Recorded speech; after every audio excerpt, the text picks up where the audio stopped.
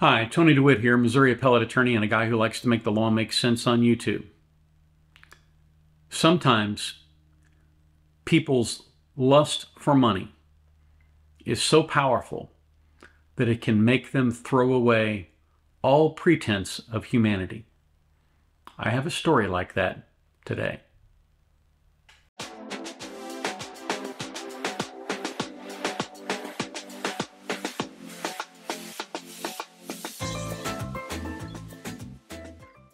It was midsummer in 2001 when a friend of mine called me on the phone and said, Hey, Tony, have you seen what's gone on with this pharmacist? And I said, No. And he said, Well, there's a pharmacist up here in Kansas City and he's diluted the chemotherapy and I got chemotherapy from him. And I said, Well, you know, let me look into it. So looked into it, and sure enough, this gentleman had been uh, given diluted chemotherapy. So I and my colleagues filed a class action lawsuit on behalf of all the patients of that particular clinic. And there were several other lawyers, very good lawyers, might, I might add, who also filed class actions. And it was interesting to me on two levels because Kansas City tends to have a very collegial plaintiffs bar. And instead of fighting each other on who was first and who was second, we all just more or less agreed to work together to help these people. I'll tell you why this was such a sad case and why it was so hard for me. I worked for 13 years as a respiratory therapist, and the person who called me was a respiratory therapist, a good guy. And it bothered me that somebody in the healthcare professions would do what this gentleman was alleged to have done. The FBI alleged, and I think ultimately it was proven, particularly with regard to drugs like Gemzar, that Courtney's motivation was financial. Uh, Gemzar is a very expensive chemotherapy agent, and just the powder alone can retail for $783. And that's a big chunk of money. Well, when you add in uh, all of the procedures for uh, giving the drug by IV, it gets even more expensive. And we believe that's why he did it he could effectively buy one vial of Gemzar for $783 and then give it to 15 or 20 patients instead of giving it to one patient individually. And as a result, the profits would simply roll in at that point. In a nutshell, for those of you who do not remember the Courtney case, he was a pharmacist who worked, he had a, a business at Research Hospital in Kansas City. And whenever someone would get a, an order for chemotherapy, had an infusion facility there, and he would mix and administer, and his nurses would administer this chemotherapy.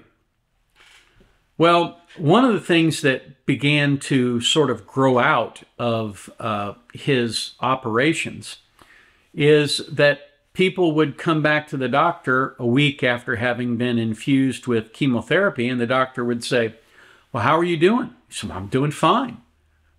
Really? He said, chemo didn't bother you? No, it, it didn't hurt me at all. Didn't feel a thing. It was wonderful. Best chemo I've ever had. And the reason, of course, the chemo didn't have any impact on them was because they weren't actually getting very much chemo.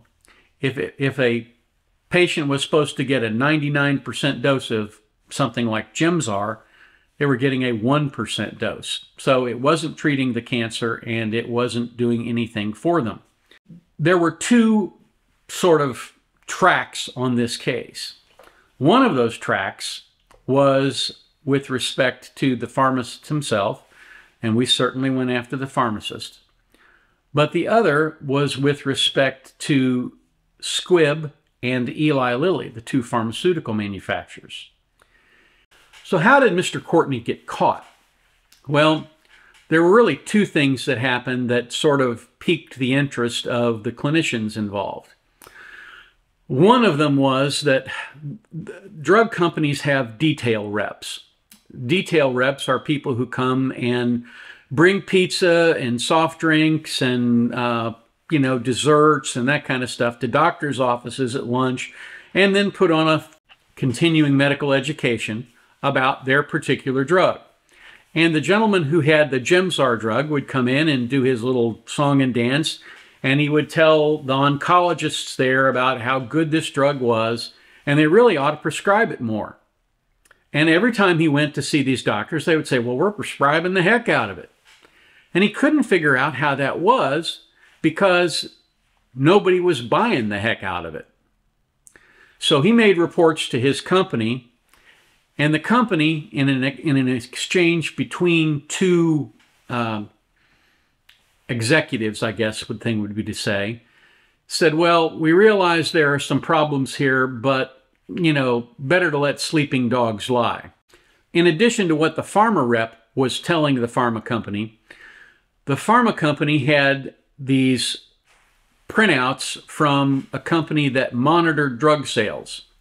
And basically, this company went out and got all of the detail from all of the pharmacists with respect to all the drugs they were buying so that it could provide this information about market share to the various companies. So that the companies could see, for example, how you know, somebody's cyclosporin drug was doing against some other cyclosporin drug.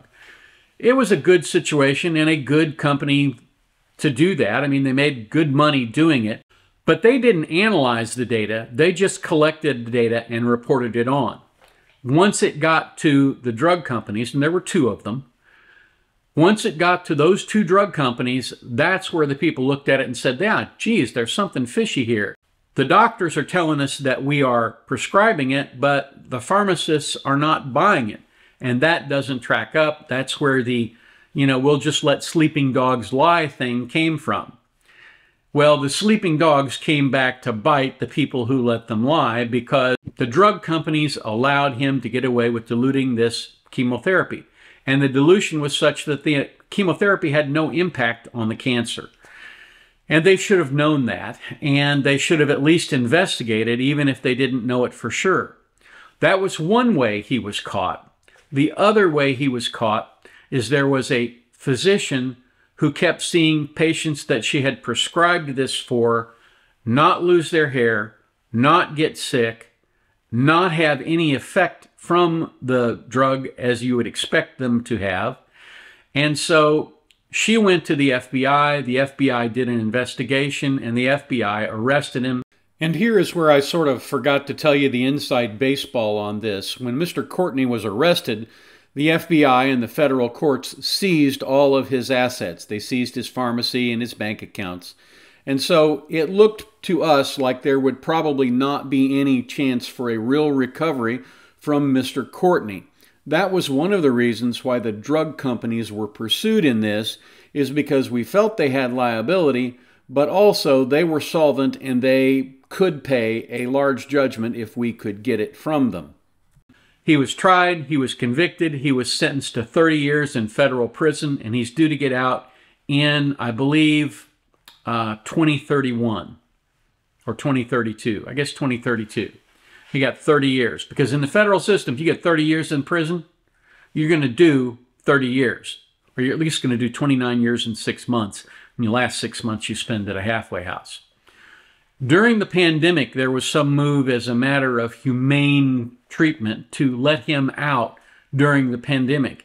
And the people in Kansas City sort of rose up as one and said, uh uh-uh, uh, not this guy. Don't you dare let him out. And his compassionate release was ultimately not approved. So, that is the story of Robert Courtney, probably the most disreputable pharmacist to ever have RPH behind his name the, the real the real tragedy in all of this is that people who came to us basically said, "Yeah, we're we're just bereft. He's stolen my hope. I had the hope that this drug would cure me or at least give me, you know, more time with my family, and instead, because of what he did, I'm going to die sooner."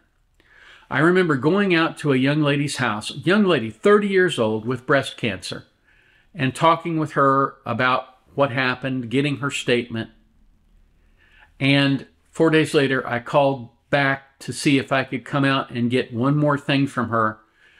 And the person who answered the phone said that she had passed away that evening. It was a very emotional case for all of us who worked on it. We did a lot of really good legal work to get the case to the point where it would settle. And when the case was tried, the civil case was tried against Robert Courtney, it resulted in, I think it was $4 billion in damages. Of course, he'll never be able to pay that. But it was an attempt to send a message. And the lawyers who got that, including a great guy by the name of Grant Davis, deserved every good thing that happened to him as a result of that because they stood up for what was right. If you have any questions about this, please feel free to leave them in the comments down below. Like, share, subscribe, you know all the stuff we ask you to do. And if you have the opportunity today, unlike Mr. Courtney, take time to be nice to people. You never know what kind of struggles people are going through, and sometimes just a kind word is enough to keep people from stepping over the precipice, so to speak. Have a wonderful day. We'll catch you on here next time.